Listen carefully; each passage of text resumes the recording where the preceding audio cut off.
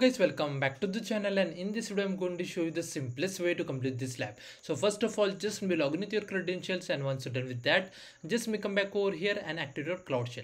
It will take a couple of seconds. Meanwhile in the description box of this video i will share all these commands. So basically what you do you have to come back to the lab instructions and click on the task number one. And from here you can see this region.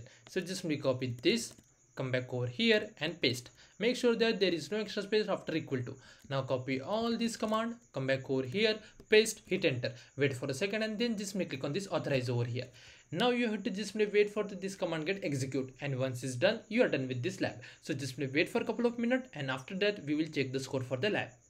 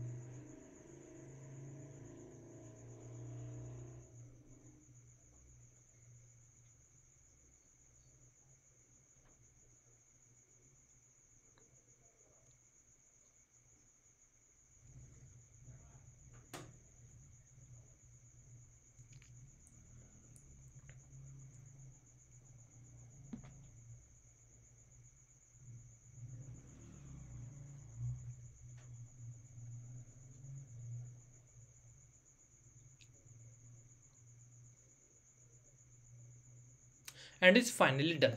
Now if you just may come back to the lab instructions and click on the check my progress for each and every task, you will get a score without any issue. And if the score is not updated for any particular task, no need to worry. Just simply wait for a couple of minutes and you will get a full score on this lab without any issue. And that's the way we have to complete this lab. If you still have any doubts, please do let me in the comment section. Thanks for watching and have a good day guys.